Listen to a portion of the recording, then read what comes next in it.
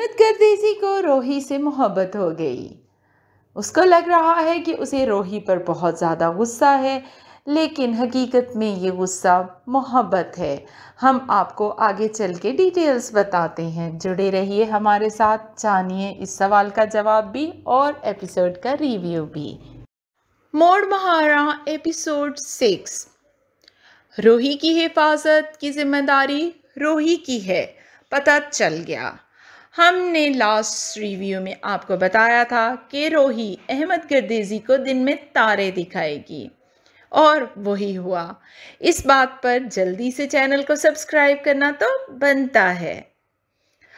अहमद गर्देजी जो बाप की जागीर समझकर दरख्त कटवा रहा था, रोही ने न सिर्फ़ उसको आईना दिखाया, बल्कि लकड़ी भी उठाने न दी। अहमद गर्देजी एक जागीरदार है उसके पास बोलने का फन भी है, पॉलिटिक्स में भी है, लेकिन रोही के सामने बोलती बंद हो जाती है।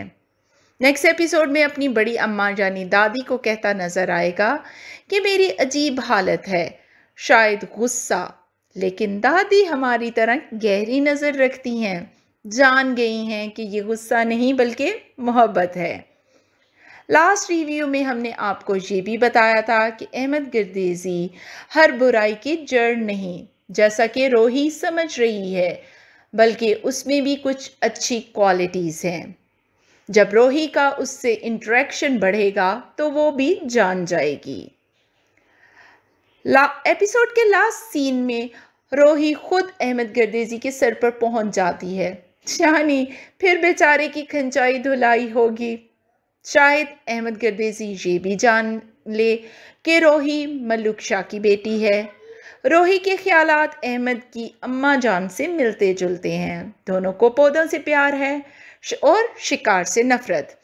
अहमद गर्देजी में यकीनन दादी की कोई ना कोई खूबियाँ तो आई होंगी, जिनमें से कुछ हम देख सकते हैं कि वो कभी भी रोही से बदतमीज़ी नहीं करता, बल्कि उस जगह से हट जाता है।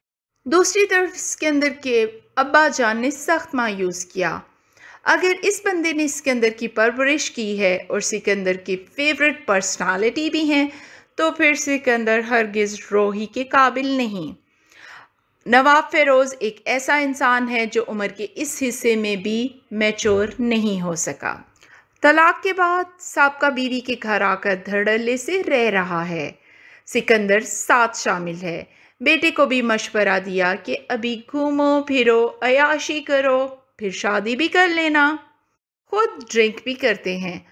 अलमास बीबी और नवाब फ़ेरोज़ का अर्ली नाइनटीन सेंचुरी रोमांस भी हमें मजबूरन देखना पड़ा। उम्मीद थी शायद शेर आलम का कोई सिरा मिल जाए। तो वो मिल गया। जैसा कि हमने बताया था कि शेर आलम सिर्फ़ ड्राइवर नहीं, बल्कि उसका हवेली से कोई गहरा ताल्लुक़ है। अलमास बीबी से मोहब्बत तो वो करता ही है। ये ताल्लुक़ बहुत गहरा है बचपन का। तभी शादी तय होने की बात अलमास बीबी ने उसे ऐसे बताई जैसे कोई बचपन की सहेली को बताता है। तभी से नवाब फ़ेरोज़ को तकलीफ़ है। शेर आलम और अलमास बीबी का एहतराम का रिश्ता है। वो बेटे को कहती हैं कि मैंने कभी कुछ गलत नहीं किया। बहरहाल, रोही बिल्कुल ठीक है कि भाग कर सिकंदर को हाँ नहीं की। सिकंदर एक इमेचोर इंसान है और रोही को सोच समझ कर फैसला करना चाहिए।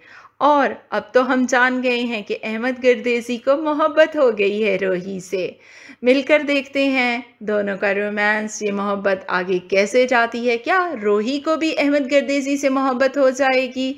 जानिए ड्रामा सीरियल मोर, महारा के रिव्यूज़ हमारे साथ। मिलते हैं दोबारा।